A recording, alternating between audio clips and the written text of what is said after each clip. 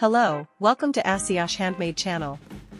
We are here with the 8th video of the Let's Crochet Together series. In this video, we will do FLO together.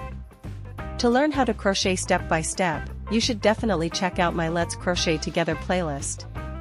Let's start.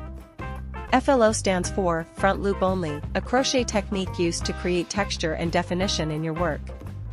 Identify the stitches, look at the stitch from the top, you'll see two loops on each stitch, the front loop, the loop closest to you, and the back loop, the loop farthest from you.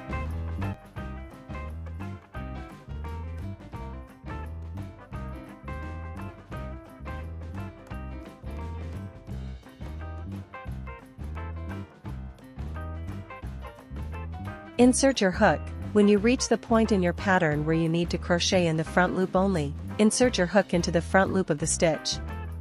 Crochet as you normally would. I prefer a single crochet.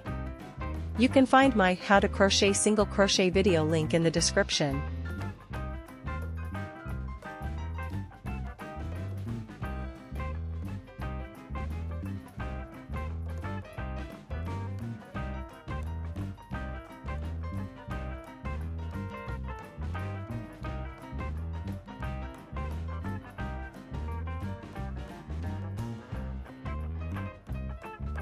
You can find my BLO, back loop only, video in the description.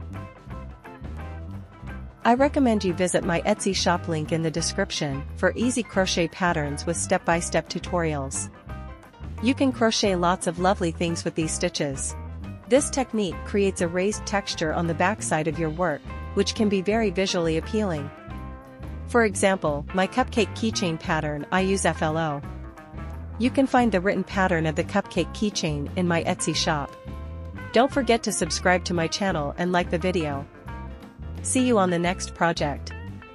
Happy crocheting!